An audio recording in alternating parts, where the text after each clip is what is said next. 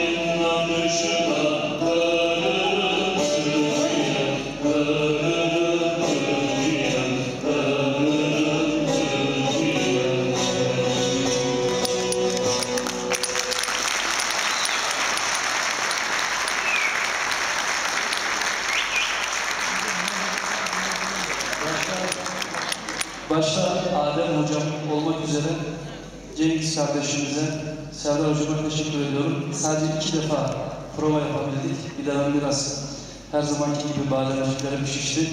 Hakkınızı helal edin. İnşallah ben, benim performansım kötüydü ama arkadaşlara bir alkış daha.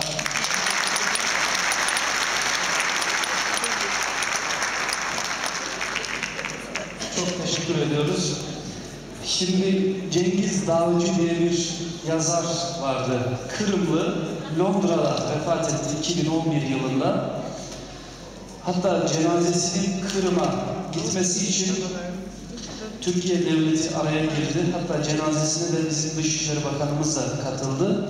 Cengiz Dağcı'nın özelliği şu, hiç Türkiye'ye gelmemiş ama Türkiye Türkçesiyle kitap yazmış bir edebiyatçı.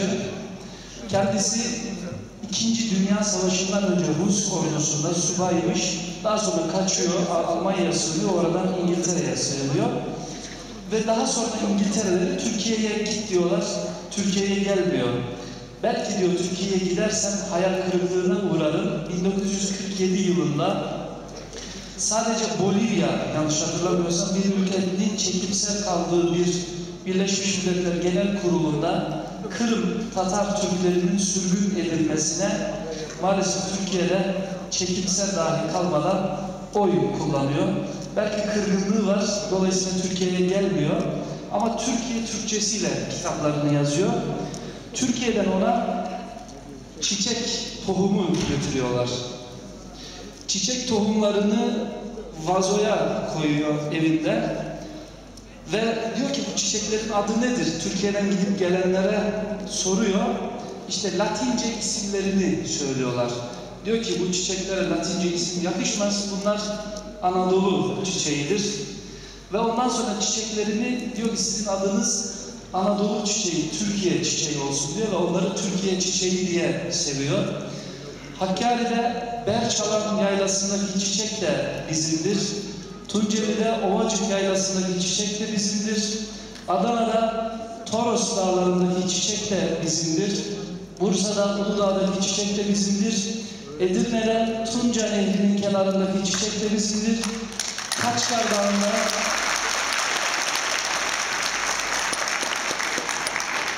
Kaçkar Dağı'nda 3800 metrede bulunan çiçek. Bütün çiçekler bizimdir ve çiçeklerimizi hiç kimseye koklatmayız.